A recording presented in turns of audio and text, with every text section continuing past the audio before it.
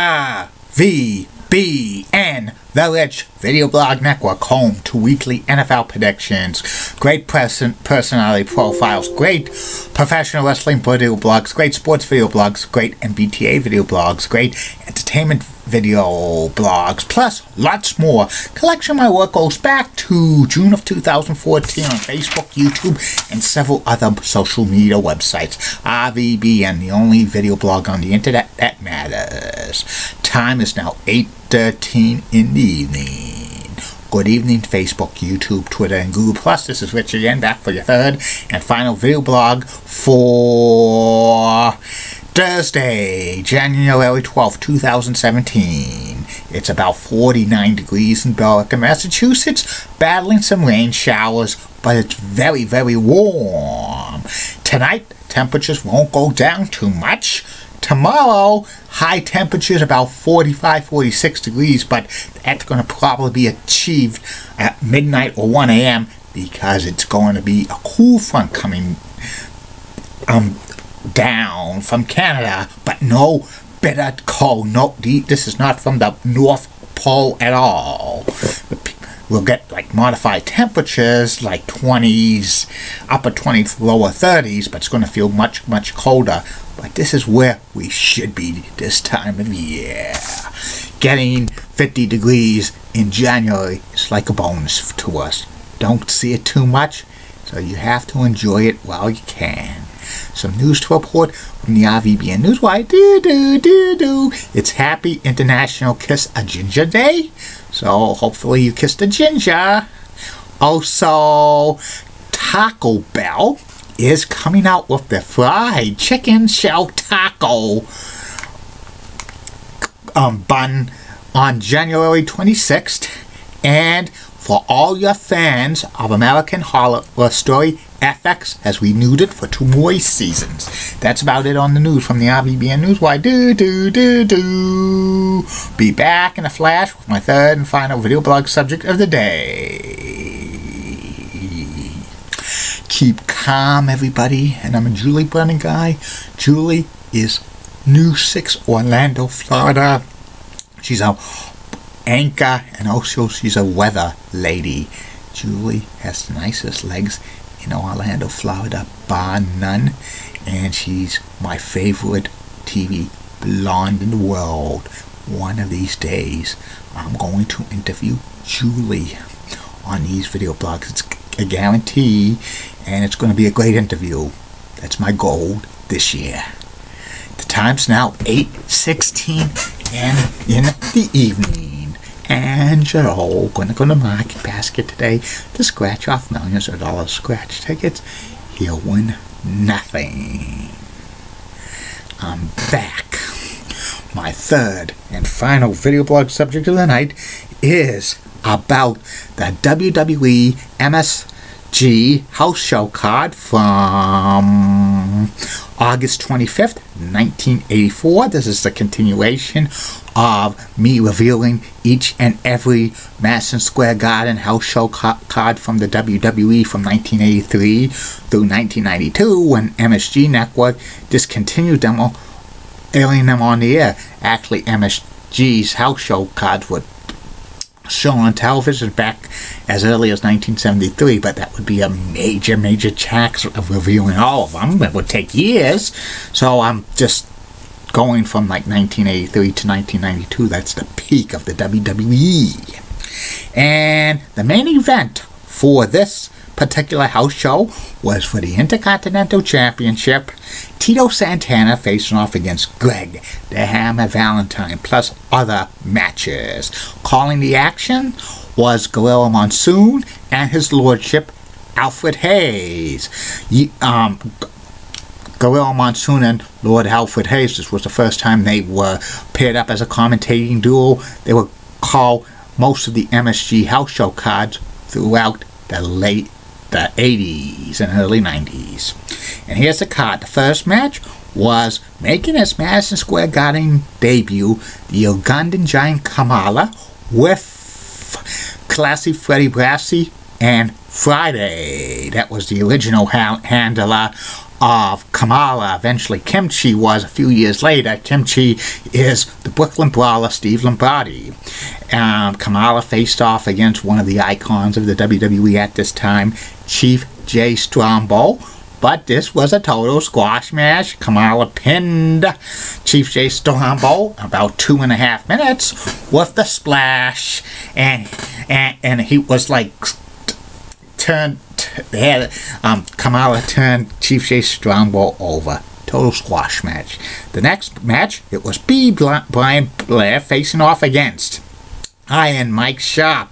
And this is like a little Madison Square Garden only feud. And it was back and forth, back and forth. Ending had both wrestlers outside the ring. The referee counted 10. A threw the match out, so it was a double count out. The next match was Quick Draw Rick McGraw facing off against Salvatore Bellomo, who was substituting for the magnificent Don Muraco, who was who did not show up for this card. I don't know why. Maybe he was under the weather. And this match was like two faces, and it was a real exciting match, scientific. What Gorilla Monsoon would always say about wrestlers like Rick, Rick McGraw and Salvatore Bellomo. They were two like two crackerjack. Went through uh, this match went to a 20 minute time limit time limit draw, but actually was only about 18 and a half minutes. Sometimes when there's 20 minute time limit draws or 30 or 45 or 60 minutes, they exaggerate it exactly like a few minutes, a few minutes shaved off just to save time. The next match was for the WWE Tag Team Championships. It was the challengers, the Wild Samoans, Afa and Sika, facing off against the WWE Tag Team Champions, Cap Captain Redneck, Dick Murdoch, and Adrian Adonis. He was an adorable back then, and there was a special guest referee. It was Captain Lou Albano, and Lou Albano was not an impartial referee for this one. He like sided all the time with Dick Murdoch and Adrian Adonis in this match, and when Afa knocked out um, Adrian Adonis, um, um, he he called for the bell because Sika did not have as he did not he was not holding the lean ropes. That was so bullshit. He gave the match to Adonis and Murdoch they retained the tag team titles by disqualification and afterwards um, Captain Lou attacked Afa and he was siding with Murdoch and Adonis but Sika made in for the save just just that was just total bullshit and Gorilla Monsoon had like one of his quotes that has to be the walking advertisement for birth control. You gotta love Gorilla Monsoon's quotes a lot. That's one of them. The next one was the returning Olympic strongman Ken Patera facing off against Pat Patterson. Patterson and Patera had a long running feud over the WWE Intercontinental Championship in 1980. Ken Patera beat um, Pat Patterson at Madison Square Garden for the Intercontinental title. And Ken Patera was returning to the WWE, and Patterson was basically a jobber at this point.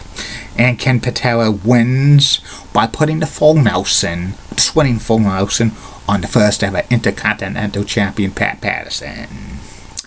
The next match was a, a grudge match. It was Ivan Polish Power Putski facing off against Jesse the Body Ventura. And this match was a, an awesome match. 12 minutes back and forth, lots of power moves in this match. Ending had both Ventura and Putski fighting over the at the ring apron and the referee was counting both wrestlers out. Ventura hits Putski with the foreign object. He golf goes off the ring apron. The body comes back in and he wins the match. And as was lucky. If he's a foreign object, the referee didn't see it. If he saw it, he would have disqualified Ventura. Next match was a six-man tag two out of three falls. It was the fabulous Freebirds, Michael P.S. Hayes, Terry Bam Bam Gordy, and Buddy Jack Roberts, with David Wolf as their manager facing off against Butcher Vachon, Ron Shaw, and the Duke of Dorchester, Pete Doherty. This was like a total squash match. The Freebirds won in two straight falls. It was the only time the Freebirds wrestled at Madison Square Garden. The next match was another grudge match. It was Soup, Soup, Superfly Jimmy Snuka facing off against Rowdy, Rowdy Piper. And this was a grudge match that started on Piper's Pit when Piper hit the coconut on Jimmy Snook, Superfly Snuka, and this was, you know, a very grudge match. Rules were breaking. It wasn't a sketch, a catch, as can can imagine. It wasn't a scientific match. It was, it was off, off the charts. Ending had Rowdy Piper attack Snuka outside the ring, and he like injured Snuka's neck, delivered several chair shots to his neck and Piper goes back in the ring, and he wins the match by count countout. Snuka was carried out on the on a stretcher. Just to sell the storyline, he was out several weeks. Uh, I, I think something that Jimmy Snuka was was like having a lot of his problems with demons, and he probably needed to take the time off.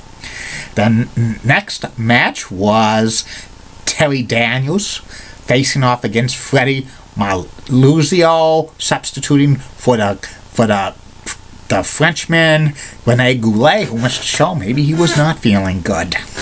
And Terry Daniels beat Fred Martucci in about three minutes with a with a roll up, but not not most of the match wasn't called by. I'm assuming they were reporting how serious Jimmy Snuka's injuries were. And the main event on this MSG House Show card it was Tito Santana defending the WWE Intercontinental Championship facing off against Greg the Hammer Valentine. And this match was pretty, pretty good. Ending had um, Tito Santana beat um, um, the Hammer with the flying body cross. One, two, three. Tito retains the IC championship, but afterwards, Greg the Hammer Valentine attacks Tito and his knee and stuff, and this it sets up for Tito to lose the Intercontinental Ch Championship to Greg the Hammer Valentine at a WWE TV taping in October of 1984 because Tito Santana needed legitimate knee surgery. So this Madison Square Garden house show card was kind of pitiful. Besides um, Santana and Valentine and Piper and Snuka. And the other matches were like, you know, a little bit of toilet matches. And like, they weren't spe very special. Some of them was basically what you could what you could have saw on All Star Wrestling and Championship Wrestling, the syndicated television shows of the WWE back in the day. Tomorrow end the series of five for the MS G House Show card reviews that I'm going to be doing. And the, it, the next one will be September 22nd, 1984. That's tomorrow. And it's a debut of one of the most famous managers in wrestling history to the Garden. I'm talking about the Weasel. Oh, I mean, Brain, Bobby the Brain Heenan. And that's about it on that. I'll be back tomorrow. Facebook, YouTube, Twitter, and Google Plus Plus Three more video blogs coming for you as usual. First video blog, personality profile. Tomorrow's personality profile will be about Hockey Hall of Famer Tiny Thompson, who wore number one for the Boston Bruins for many years. Second video blog of the day will be about why boxing, professional boxing, is dying. And the third and final video blog of the night will be about the last of the MSG house show cards I'm reviewing this week. It will be from the WWE. It will be about the aforementioned 922-84 house show from Madison Square Garden with Big John Studd facing off against Hulk Hogan. Keep calm, everybody. I'm a. Thank Guy Molly Rose. Love WCCO. Excellent. Thanks, lady. Elizabeth Hutz, so stunning, she's best. Amy Sweezy's awesome, awesome Amy. Linda Church of WPIX Channel of New York, such a liking Cougars, got the best in New York City, Bondan. Bob Gibbs of ABC 11 has a sweet southern accent, best leg in Raleigh, North Carolina.